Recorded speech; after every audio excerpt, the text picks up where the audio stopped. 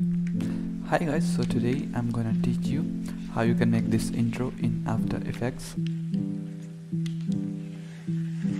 So I'll just give you the tutorial and you can also download the PDF from my Discord server. You can get the link from my pinned comment and in the description. So let's hop into After Effects.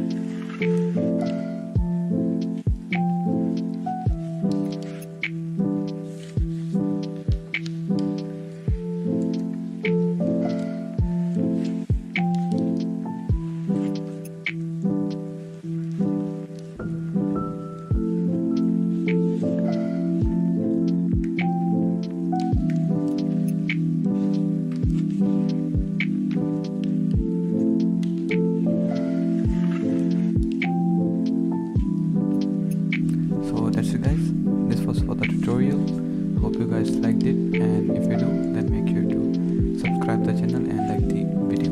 Thanks for watching.